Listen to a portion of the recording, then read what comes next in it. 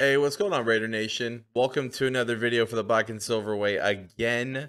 Uh, two videos in one day. Uh, I was just chilling on the couch right now, and uh, I got a text message from a, uh, a Raider, you know, homie that I have, and uh, he sent me Derek Carr's press conference and Josh McDaniels and said, "Hey, bro, I think it'd be a good idea for you to do like a live reaction or something to uh, Derek's presser if you haven't seen it yet."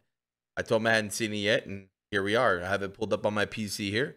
Uh, we'll see what Derek says on this. I'm pretty interested right now. Um, but yeah, let's uh, let's watch this video together. If you guys haven't seen it yet, uh, let's let's roll it. I've obviously skipped past Josh McDaniels. Really give a fuck right now what he has to say.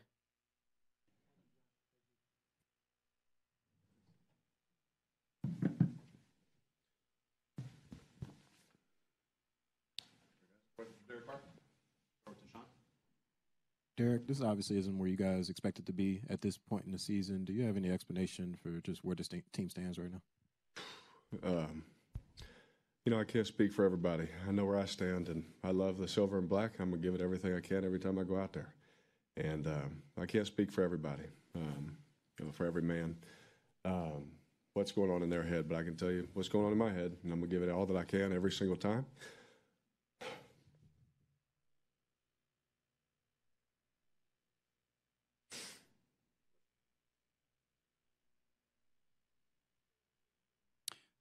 Derek, I'm going to ask this with the utmost respect. Last year, with what you did with this team, with everything you guys went through, you endured and got to the playoffs. This year, it just seems there's frustration at times, obviously, after these losses. Is there, in any way, a disconnect with what you're trying to do and this new staff as far as the system? I, you know, I don't think so. Um, you know, I love, I love Josh. I love the car. I love our coaches. Um, they've had nothing but success. You know, way more success than I've ever had. You know, and uh, you know, I'm sorry.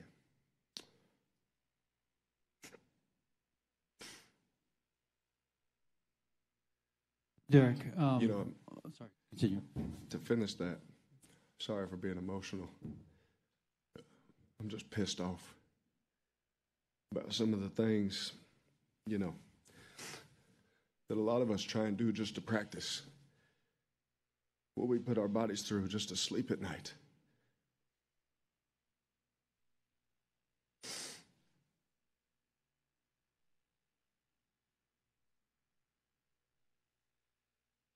And for that to be the result of all that effort pisses me off.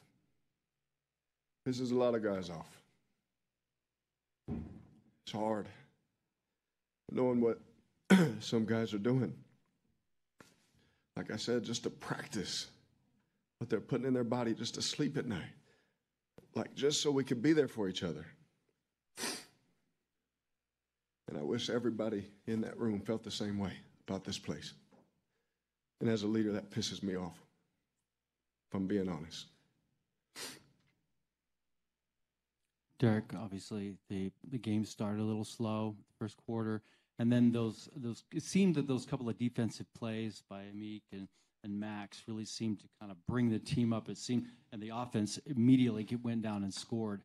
But obviously, um, later in the game, it couldn't they couldn't quite maintain that. How do you explain the the difference between how it started and the energy they had after those defensive plays? It definitely helped us. Um, you know, them getting the ball out and all that. Uh, it was it was good for the momentum, right, for the sideline. Because we in the first uh, the first quarter, you know, we were killing ourselves with penalties. Really, the first quarter and a half penalty. I mean, second and thirties and stuff like that. You know, um, that, that hurt us. Um, I didn't see the replays on them, so I don't know you know what it was or anything like that. But I just know that it hurt us, and uh, but having those plays really fueled us, helped our sideline, and uh, you know I'm happy we made those plays because it got us going. Derek, with your comments you just made a moment ago, I'm going to ask you a question, not as a quarterback, as a captain. If you have guys on that team that maybe you don't think are giving maximum effort or buying in or whatever, those are my words, not yours. How do you address that? Mm-hmm. How, how do you do it nine games in? Well, we had uh, you know, we had our leaders, and it's not, it's not even like something crazy, but it's just, you know, we had our leaders address it man to man just now, and it was good. It, needed to be done. It needed to be said, and uh, you know, I think for me is I'm always going to just show the way.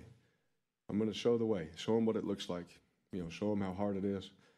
You know, in the huddle, I told them that in the second quarter, I said, this is going to be hard, but we're going to come back and we're going to win this game. I believe it. You know, it's going to be hard though. It's not going to be easy. You got to do the hard things. Josh always preaches, do the hard things right. And I'm not perfect. I'm never going to be perfect. But the love that I have for this place and the effort that I'll give will never be second to none every time. And so they addressed it. We addressed it. It's not a problem. It was addressed. It was good.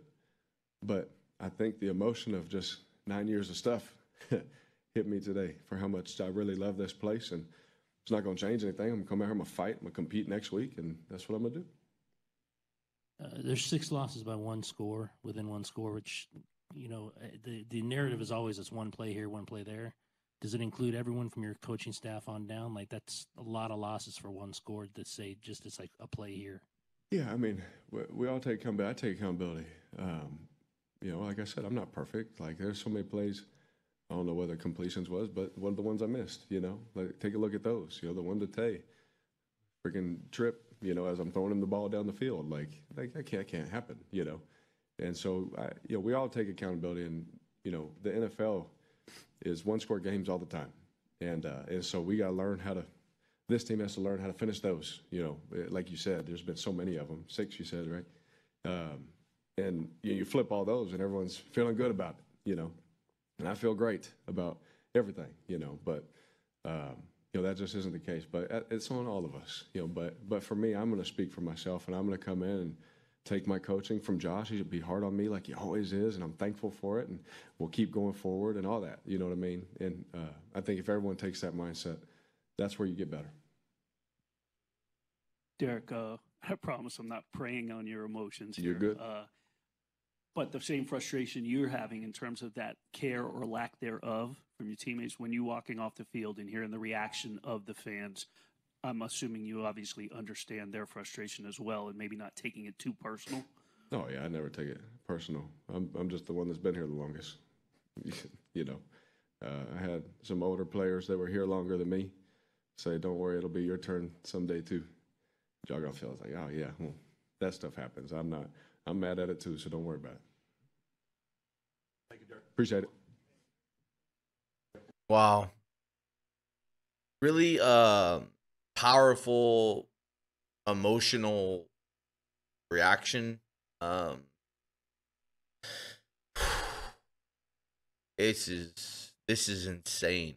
This is just crazy. To see Derek cry um like that and uh really express his concern about the team not being bought in as much as him and how much he respects the organization it's heartbreaking, bro. Because at the end of the day, I had Derek's back all the way till last season to the point where I was like, okay, I've seen enough. I want a different player. But even at the point of me saying that, I always will have the most respect for him just because of the way he carries himself all throughout the years. Um, do I think we should still move on? Of course, I really do. Um, that's really what I think uh do I I got love for Derek and you know he's a Raider went nine uh, you know nearly 9 years with us already so it's just really unfortunate shit did not work out.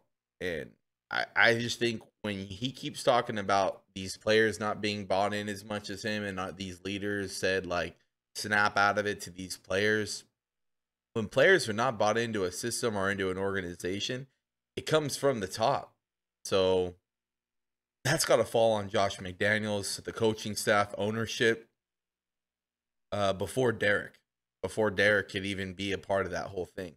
Yeah, we could talk about Derek's play during those key moments. Of course, we already all know that. That's the issue with Derek. But at the end of the day, uh, that was sad, bro. I nearly teared up, almost teared up on that one. Uh, let me know what you guys think about this press conference, man. There's a lot of emo- he showed a lot of emotion. Um, obviously talking about players not being bought in. and just talking about how he loves his franchise and gives it 100%. But this is, this is horrible, man. This is horrible. Anyways, um, you know, I just wanted to give you guys that reaction. That was a very, very powerful, emotional press conference from Derek Carr. I'll see you guys on the next one.